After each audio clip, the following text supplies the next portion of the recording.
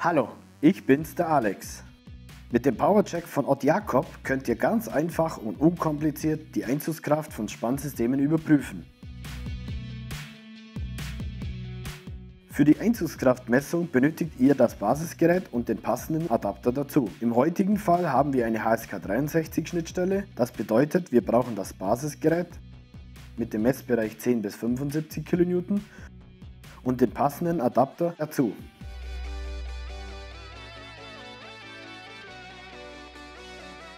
Der Adapter wird ganz einfach aufgeschraubt.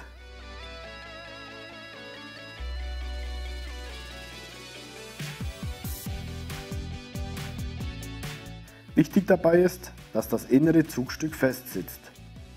Das äußere Druckstück muss frei beweglich sein. Mit der Verstellhülse können Werkzeugtoleranzen simuliert werden. Wichtig ist bei der Standardmessung, dass wir bei der Ausgangslage bleiben.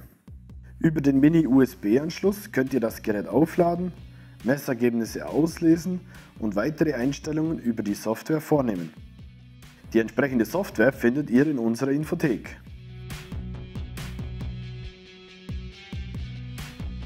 Nach dem Einschalten sehen wir kurz eine Balkenanzeige für den Batterie-Ladezustand. Anschließend ist das Gerät betriebsbereit.